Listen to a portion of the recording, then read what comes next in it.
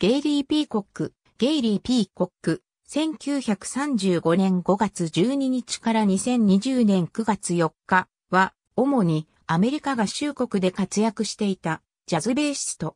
アイダホ州バーリー生まれ。13歳からピアノを始める。1954年から2年ほど兵役につき、この間にベースをマスターした。除隊後、ロサンゼルスでアート・ペッパー、ハロルドランド、バドシャンク等と活動。1962年にニューヨークに出て、フリージャズのムーブメントに身を投じ、ポール・ブレー、ドン・チェリー、アルバート・アイラー、サニー・マレーらと共演した。最初の妻はアネット・ピーコックであった。1970年から1972年までの2年間日本は京都に滞在した。その間、禅や仏教の影響を強く受け、今でいうマクロビオティック自然食生活を送ったと言われる。一時活動を休止したが、ポール・ブレーのトリオで復帰し、1970年代後半はアートランディとのトリオで活躍。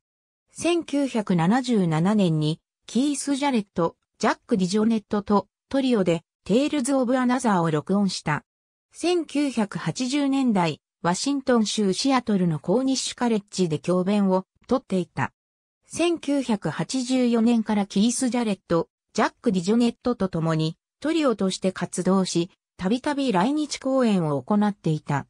1986年に、富樫正彦、佐藤正彦とウェーブを結成。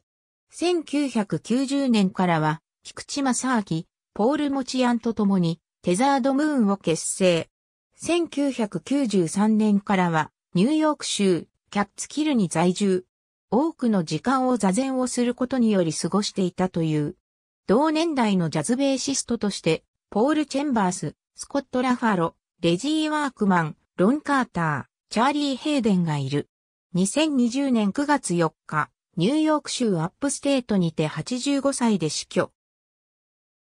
キース・ジャレットの、いわゆるスタンダーズトリオテザード・ムーン・フランク・アムサレム、アルバート・アイラ・ポール・ブレイ・ビル・キャロザーズ、マーク・コープランド・マリリン・クリス・ペルドン、エリスビル・エヴァンス・クレア・フィッシャー・バーニー・ケッセル・プリンス・ラシャ、アンドスニー・シモンズ・ミシャ、メンゲルベルク・ドン・プーレンバド・シャン・クラビシャン・カール・ジョン、サーマン・ラルフ・タウナー、マル・ウォルドロン・トニー・ウィリアムス・ジミー・ウッズ・トニーニョ・オルタ、富樫正彦山本国山。ありがとうございます。